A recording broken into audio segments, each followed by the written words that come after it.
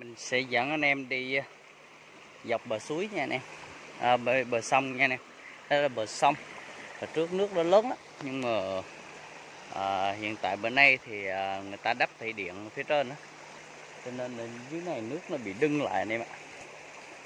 Đây. dịch bệnh như thế này thì à, mình à, ở quê mình à, ngay ờ, ở huyện mình là hiện tại là chưa có uh, ca nào hết nha anh em chưa có ca nào hết á chưa có ca dịch nào hết. Đây mình quay cho anh em xem.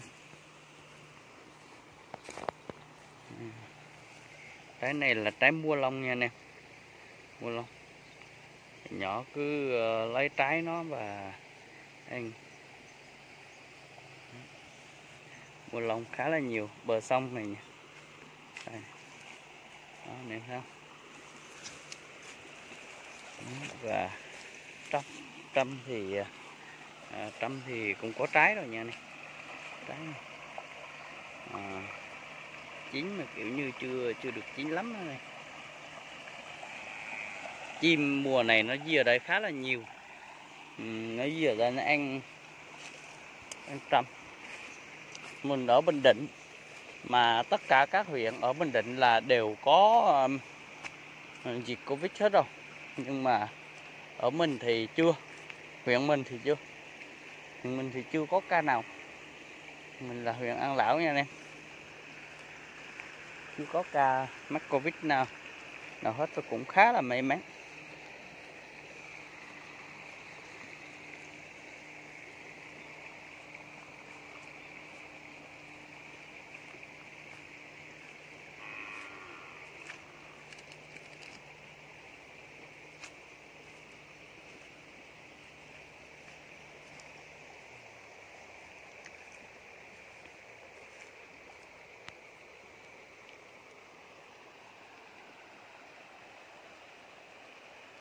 Thấy không? ở đây thì đủ các loại cây hết. Ngắm cảnh thì cũng khá là thích. Buồn buồn à, đi dạo dạo ngắm cảnh cũng được đó anh em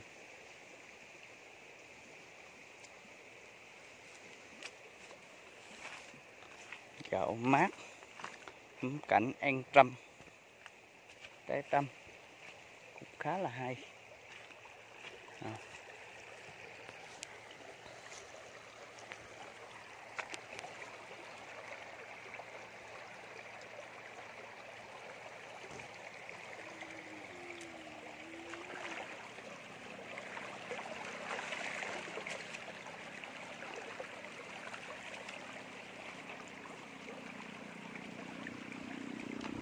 em anh em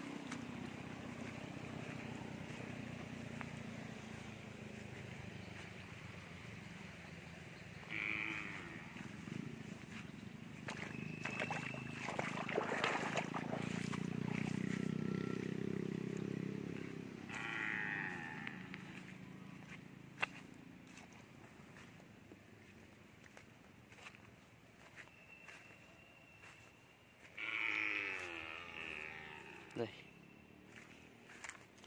Thôi, như vậy là mình à, sẽ tạm ngưng video tại đây nha anh em. Cảm ơn anh em đã xem video của mình nha. Bên kia là nhà làng kia nè.